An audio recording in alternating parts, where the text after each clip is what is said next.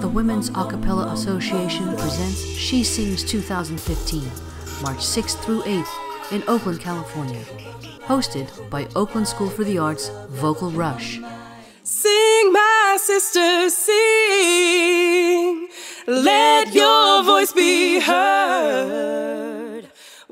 She Sings 2015 is going to be bigger and better than ever, and we have an incredible schedule for the weekend. We have performances, we have educational workshops, we're going to have a CD release, party, shindig that's going to be really fun, and Oakland is the perfect destination.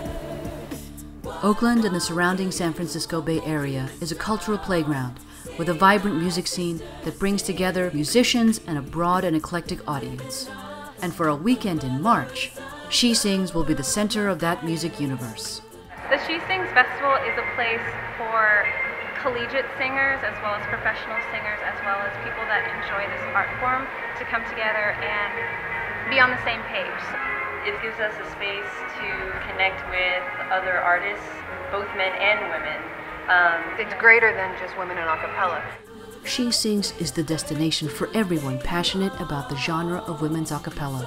It's a dynamic musical experience, and we want you to be part of it. Whether you're a performer, a teacher, or a student, come and share the musical journey that is She Sings.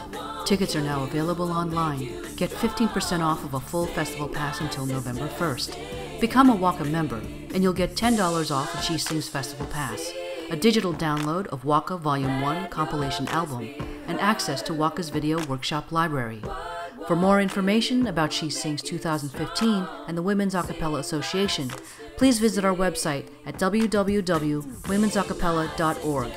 You can also find us on Facebook, YouTube, and Twitter.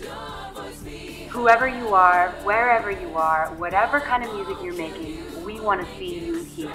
She Sings 2015 is the destination.